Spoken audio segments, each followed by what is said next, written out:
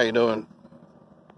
I'm Lee from Azalea Lawn Care Services, and I'm here to talk to you about, if you'll listen, fixing bare spots or dirt spots in your lawn.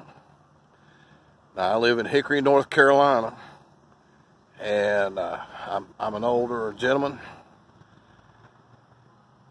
And as a kid, our summers and stuff were a lot milder, but now things are a lot different. And what what I've done is I've had some big patches that I've sprayed, and I filled them full of Bermuda grass. It takes less water. I know a lot of purists are going to turn their nose up against that, and they're going to say, that's a weed, you know, that's invasive and all that stuff. But I'm going to tell you, it's a very effective, effective method of taking care of a bare spot in your yard. But you look at this right here. See all this right here. This great big patch right here was a great big patch of clover that I sprayed out, except for this uh, goose grass here. And I'm going to dig that up eventually. And uh, I planted small little cuttings of Bermuda grass. Just transplanted it. And see what it's done. And by the end of the summer, I mean, it was all the way up here. It is going to be completely filled up.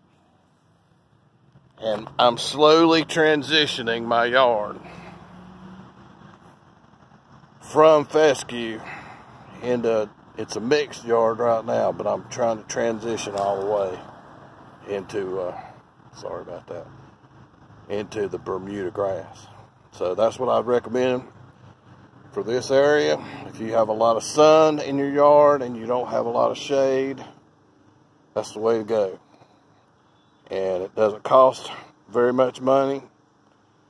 It, it uh, I just transplanted a little bit and it's happened over a period of time.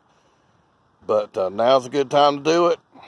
And you don't have to spread seed, do a whole lot of watering I've done a minimal amount of work to it, and I've patched about every hole in my yard. So uh, that's what I'd recommend to you.